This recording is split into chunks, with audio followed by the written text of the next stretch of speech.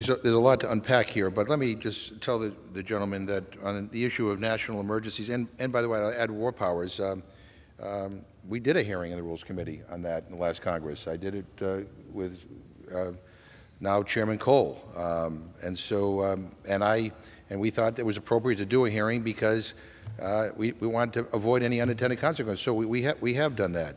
But I, I, it's now becoming very clear to me um, how this is going to, how this Congress is going to operate in the Rules Committee.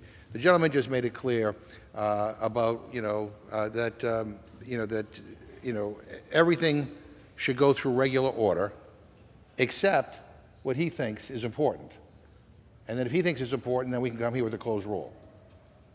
Uh, and, you know, and then I, I'm a little confused over the gentleman's uh, pontificating on the fact that these are only one-page bills and therefore they shouldn't be amended. Um, you know, I, I, point out that the, the bill that they had the modified open rule on was a three-page bill. Uh, but is the number of pages of a bill going to be determinative of whether or not we have amendments or not?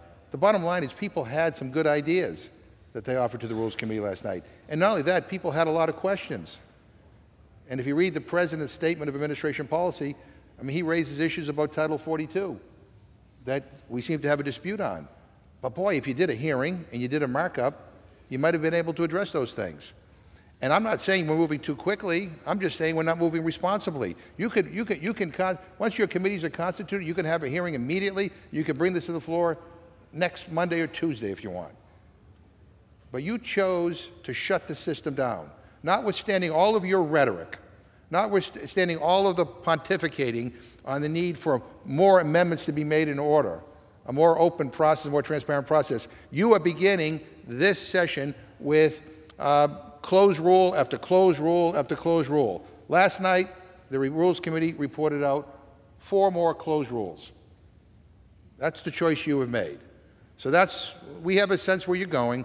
Uh, you have a, you know, the last time you were in charge, you presided over the most closed Congress in the history of the United States government. I, I wouldn't be surprised if you beat your own record. Uh, uh, Madam Speaker, if we defeat the previous question, I will offer an amendment to the rule to ensure that none of the bills in this rule take effect unless it is certified that they do not decrease Social Security benefits. Madam Speaker, I ask unanimous consent to insert the text of my amendment into the record along with any extraneous material immediately prior to the vote on the previous question. Without objection. Madam Speaker, Social Security is the bedrock of our nation's social safety net.